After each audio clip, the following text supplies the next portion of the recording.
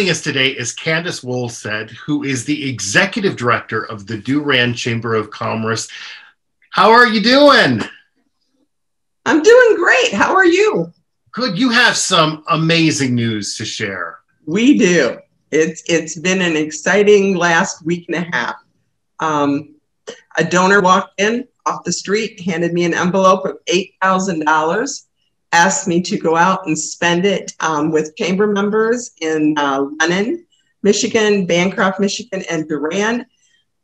Put it in an envelope, the $50 gift cards each, you know, each business, um, so many, and then go out and share them with the school.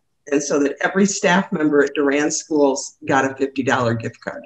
That's incredible. And so those gift cards, and whoever did this is asking you to give it to the school members and saying, use it in town? Is that what's happening?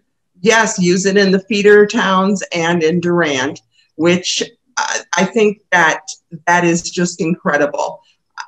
You know, how many people are sitting in their office and get an envelope with $8,000 in it and told to go out and stimulate the economy? It, it just doesn't happen. What was your reaction to this when, when that person did this? My first thought was to go to the bank because we don't leave eight thousand dollars. That's that's training. Can you tell? Can you go to the bank? It was cash. It wasn't a check. It was cash. It was cash, and it was cash. And so uh, my first reaction was, "Are are you kidding?" And they're like, "No, we, I, you know, we want you to do this."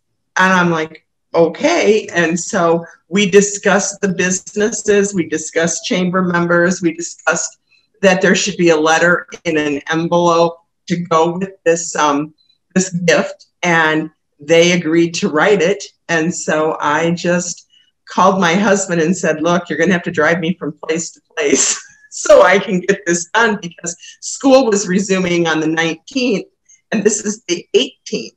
So, or I'm sorry, this is the 16th. So we had just a few days to get this all together. So my husband, you know, I picked him up and we started going from place to place. Do you know this person that donated the money? I do now.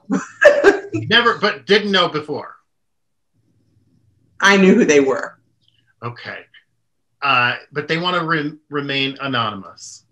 Absolutely. What did the letter say? The letter um, said that they realized how much the um, staff had gone through during the pandemic and that they appreciated it, and that if they worked at the school in any capacity, they were an educator. They worked with our children, they educated our children in some way, and this was just a small token of appreciation. And to go out and spend it, and if they didn't you know, and they could exchange cards, whatever made them happy, as long as they went out and stimulated their economy and stimulated their happiness. We are very close knit. We support each other. We support our businesses to the best of our ability. And that is how Durand will always be. Lennon, who feeds into Durand schools, and Bancroft are the same way we are all a very close knit community. We bought restaurant gift cards. We bought um, florist. We bought gas. We bought hardware. We bought hair, um, a, a hair salon. It was it was fun. It was really fun to go in and see their faces. Um, when I would say I would like ten gift cards, they would uh, fifty dollar gift cards. They would just look at me and a couple of them had tears in their eyes. Um, one of them told me this would pay one of their bills.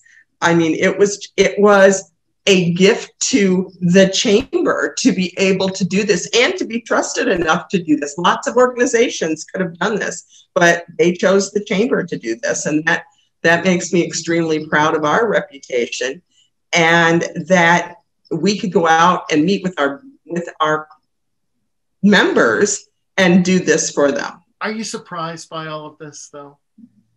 Yes, I am. I'm not surprised that someone wanted to support the businesses.